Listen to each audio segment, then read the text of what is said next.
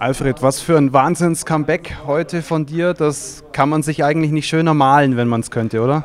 Nein, eigentlich nicht. Das war genau wie ich äh, gestern, äh, äh, gestern Nacht äh, geträumt habe von meinem Comeback. Es war ein super Gefühl, erstmal nur auf, auf Rasen zu stehen, die Mannschaft zu helfen. Und dann ist das natürlich Bonus, dass wir heute die 40 Punkte erreichen. Und natürlich für Stürmer ist es immer schön, wenn man, wenn man Tore schießt. Du hast schon eine lange Leidenszeit hinter dir. Wenn man dich kennt, weiß man, wie schwer dir das fällt, von außen zuzugucken, äh, wenn die Jungs spielen. Und dann heute so zurückzukommen mit einer Torvorlage und einem Tor.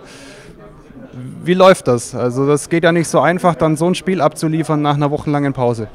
Nein, das stimmt. Es war keine einfache Zeit, wenn ich äh, ehrlich sage. Auch, noch die zweite Saison in Folge, wo ich viele Spiele ausfalle. Und äh, ja, habe mir viele Gedanken gemacht, aber es ist alles wert am Ende, wenn man wieder auf Platz steht. Und äh, jetzt will ich noch äh, wichtig sein in, für, für, die Mannschaft in die, in die letzten Spiele und, und freue mich richtig auf äh, nächsten Samstag. Ihr habt das Spiel lange offen gehalten, 1 zu 0 immer ein knappes Ergebnis. Du hättest früher vielleicht sogar das 2 zu 0 machen können. Wie froh warst du am Ende, dass es dann in der 90. geklappt hat? Ja, super. Ich wollte unbedingt äh, das Tor schießen heute. Äh, darum habe ich auch diese extra Meter gelaufen, sodass ich in gute Position kommen kann. Wir haben eigentlich nicht so gut ausgespielt am Ende, aber der Ball war drin und, und das ist Hauptsache. Der Abstiegskandidat Nummer 1 vor der Saison für alle Experten tütet am 31. Spieltag den vorzeitigen Klassenerhalt ein. Ist das so ein bisschen Genugtuung auch als Spieler? Ja, natürlich, äh, das ist eine extra Motivation. Wir wussten alle intern, das, was wir verstehen. Super vorbereitet hatten wir auch mit ein äh, bisschen äh, Schwierigkeiten am Anfang. Pokal raus, erstes Spiel verloren gegen Hamburg, und, aber dann wieder gekämpft und unsere Qualität gezeigt. Vielleicht nicht so stabil in die Rückrunde wie die Hinrunde. Ein paar zu viele Punkte äh, ja, liegen lassen, aber am Ende 40 Punkte, unser Ziel erreicht, äh, 31. Spieltag, wie gesagt, das ist super. Es ist auch eine Saison für den FCA, in der man als Fan nicht bis ganz zum Ende zittern muss. Jetzt haben wir 40 Punkte, drei Spiele sind es noch. Das erste große Ziel ist erreicht. Wo geht es jetzt noch hin, den nächsten drei Spielen?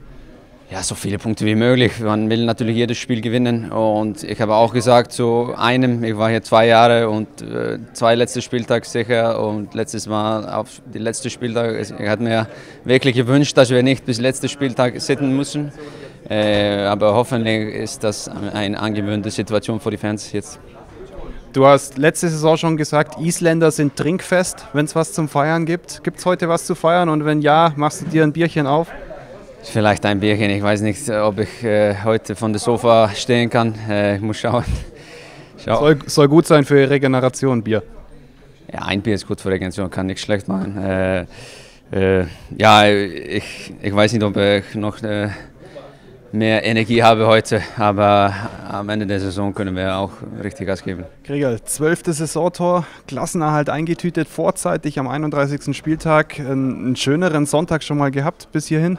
Na, bis hierhin auf gar keinen Fall. Das war äh, sehr, sehr schöne, äh, sehr, schönes Wochenende. Wir haben es, glaube ich, wirklich von der ersten Minute an verdient äh, nach Hause gespielt. Und ähm, ja, 40 Punkte, das war unser Ziel, das haben wir erreicht und das ist sehr, sehr cool.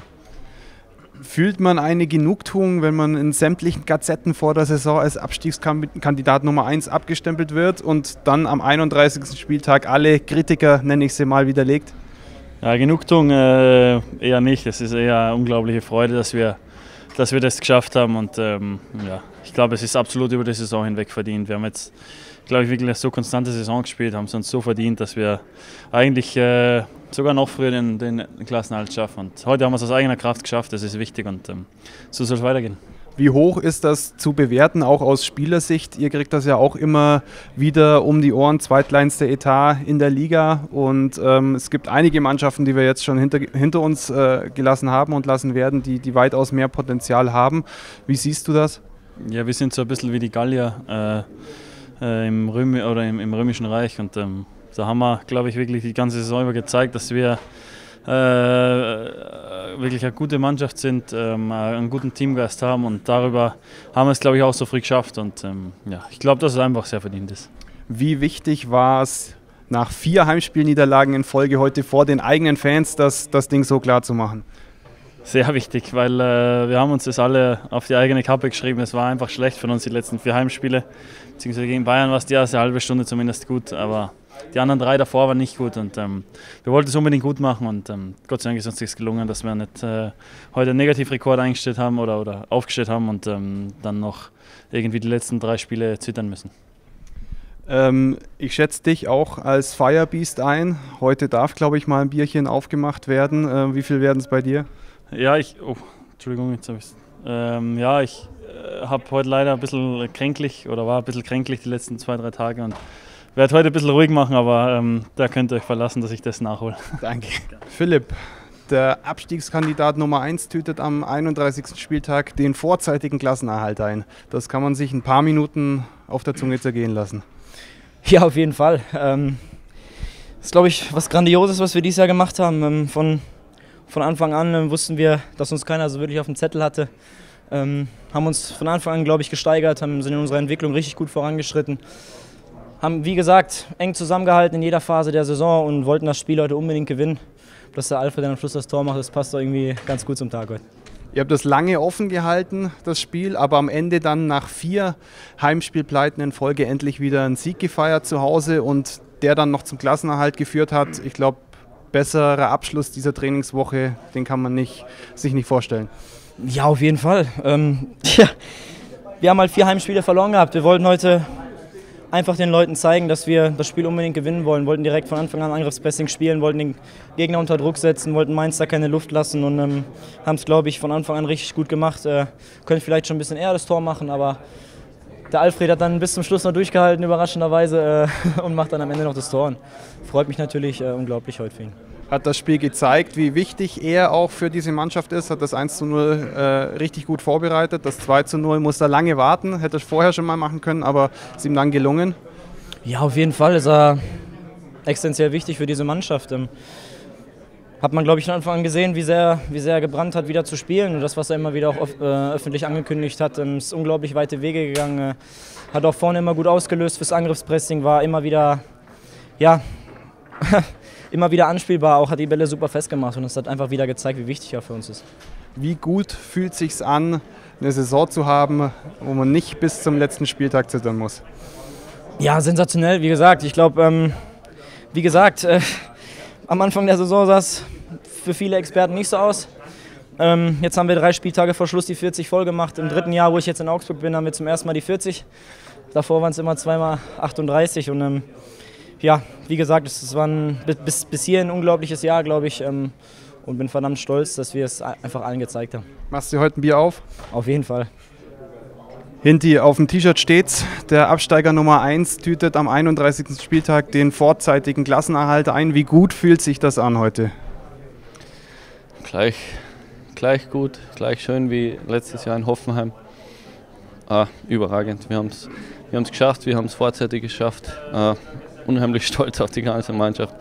Ah, einfach Glücksgefühle pur. Es ist mal eine Saison für den FCA in der man nicht bis zum letzten Spieltag zittern muss, fällt da so ein bisschen eine Last ab. Aber ihr habt schon die ganze Saison natürlich darauf hingearbeitet. Also es war ein bisschen abzusehen. Natürlich, äh, wir haben eine richtig gute Hinrunde gespielt. Da war es da irgendwie abzusehen, da, da wollten wir unbedingt vorzeitig das schaffen. Äh, jetzt haben wir es wirklich geschafft. Drei Spiele noch vor der Brust, nochmal alles raushauen trotzdem, aber natürlich mit einer gewissen Leichtigkeit. Ihr habt das Spiel lange offen gehalten. 1 zu 0 ist immer ein knappes Ding, aber jetzt endlich nach vier Heimspielniederlagen mal wieder ein Sieg und dann mit dem äh, Klassenerhalt zu Hause äh, kann kein schönerer Sonntag sein. Genau, das ja, ist schöner, wenn es Samstag wäre. Aber äh, wir haben es die ganze Woche über angesprochen. Äh, Heimsieg vor den eigenen Fans. Wir haben vier Niederlagen. Das ist, ist nicht schön, äh, nach, nach den vier Niederlagen da, dann wieder ins Stadion zu gehen und, und im Hinterkopf zu wissen, dass wir jetzt eigentlich den Fans nicht viel geboten haben. Und heute haben wir es erste Halbzeit richtig gut gemacht, ja, überragend gespielt. Äh, zweite Halbzeit haben wir es dann ein bisschen runtergespielt, aber defensiv von vorne bis hinten richtig stark. Und dann haben wir den Deckel drauf gemacht und so wird das für, für ganz Augsburg ein, ein traumhafter Sonntag. Das erste große Ziel ist erreicht. Jetzt sind es noch drei Spiele bis, bis Saisonende. Was strebt man da noch an? ja, man, man geht in kein Spiel äh, und möchte nicht gewinnen. Das ist, das glaube ich, ganz normal. Äh, natürlich am schönsten wäre, wenn wir Schalke daheim noch, noch gewinnen würden. Äh, richtig, das wäre ein richtig guter Abschluss für eine richtig gute Saison. Äh, dreimal verlieren kommt auf, auf keinen Fall in Frage. Äh, das, wir werden sicher nicht zurückschalten. Wir werden weiter Gas geben. Wir wollen die Saison richtig gut zu Ende bringen. Und wo wir dann am Ende stehen, das sieht man dann. Ich glaube, dich brauche ich nicht fragen, ob du dir heute ein Bierchen genehmigst, oder? Na, wir haben gerade, äh, ich glaube, jeder Spieler hat eins genommen, gerade in der Kabine. Das, das gehört dazu, das, das ist gut für die Mannschaft, für, einen, für einen Mannschaftsgeist. Und das sind auf die Momente, wo man neun Monate hinarbeitet und jetzt sind wir da und traumhaft einfach. Danke dir. Danke.